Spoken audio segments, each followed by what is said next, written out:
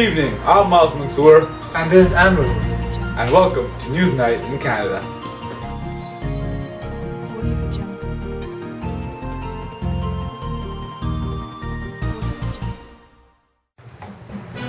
On tonight's segment, we have the energy-filled cathode ray tube. Amru, please give us some history on this topic. After me and Maaz did some research, we understand that the first uh, cathode ray tube scanning device was found by um, Carl Ferdinand Braun. However, most of the experiments were did by uh, J.J. Thomson. These experiments uh, proved how the cathode ray tube actually worked. However, the first ever cathode ray tube uh, device was uh, invented by Carl. After that, in 1858, Julius Plucker showed that cathode rays actually bend under the influence of uh, a magnet. This led to the 1897 discovery that cathode rays are actually composed of electrons. In 1876, Eugene Goldstein gave uh, the name cathode ray, um, and then in 1883, Heinrich Hertz shows that cathode rays are not deflected by electrically charged metal plates, which uh, which would seem to indicate that cathode rays cannot be charged particles. However, it was later found not to be true. In 1886, Eugene Goldstein then observes that a cathode ray tube produces radiation that travels in opposite directions, away from the anode that's uh, the one end of the cathode ray tube. And then in 1894, J.J. Thomson announces that he has found the velocity of a cathode ray. In 1994, J.J. Thomson announces that he has found the velocity of the cathode rays to be less than uh, that of the light. In 1895, Jean-Baptiste Perrine shows that cathode rays deposit a negative electric charge uh, where they impact. This showed that um, cathode rays actually are composed of uh, negative electric charge, which are the electrons. Back to you, Maaz. Get the idiot. History's done. Let's get back to our on-site reporter, Mohammed Vohora, in Switzerland at a high-level research center. Thank you, Maaz. We are standing outside the research center in Switzerland. Now let's go inside to see how the cathode tube experiment actually works with Dr. Butt.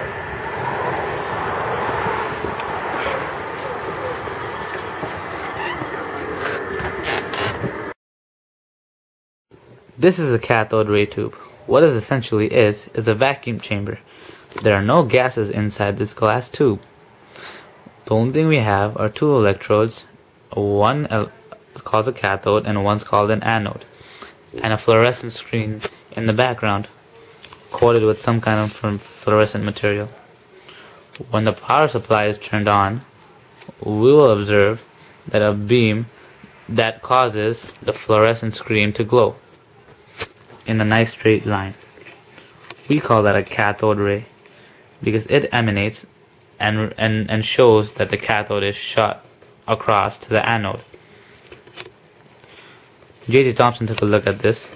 We didn't, he didn't really understand what was happening. Electricity was going inside one, one end and coming out the other, but there was nothing inside to conduct the electricity. So he decided to apply a magnetic field to this cathode ray. We will apply one pole to this cathode ray to see what happens. As we can observe, the ray is being repelled.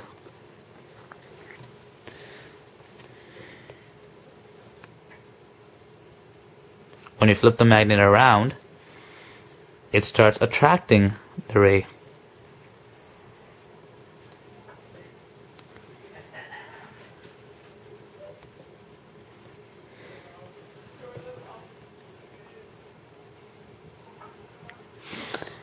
And if it's being attracted with one end and repelled with the other, that only means it has a charge.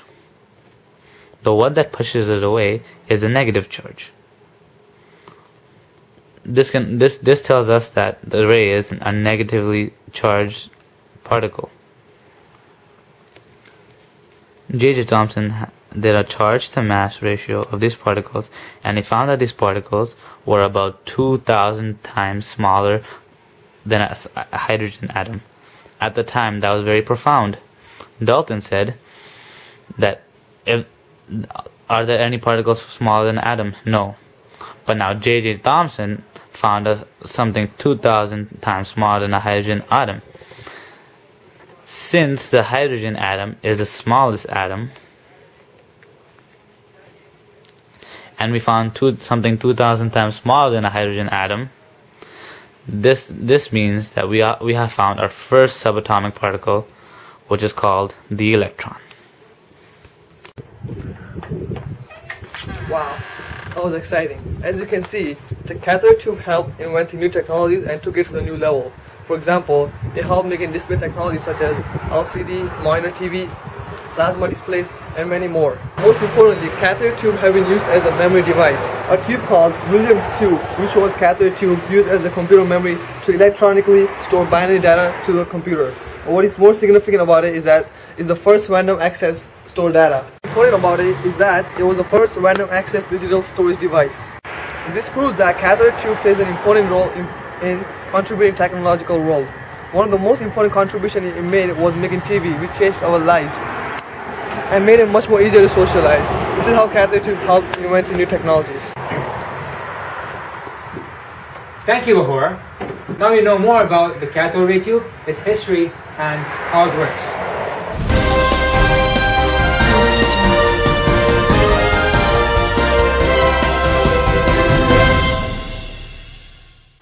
Sorry to interrupt this message, but we have breaking news.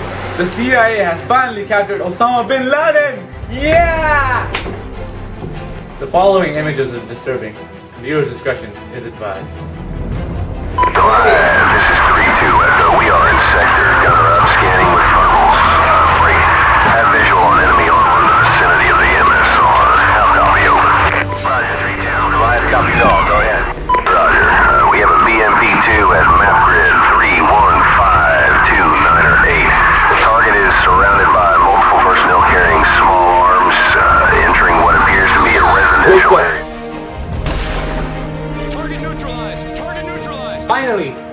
Justice has been served for all the victims' families who lost their loved ones in the 9/11. Well, folks, that's it for tonight's segment. Have a good night, and this has been us on Newsnight in Canada. Good night. Good night. Good morning. Good. Hey. Good evening. I'll Say, say that again. Don't be overconfident. Sorry to interrupt. Do it again.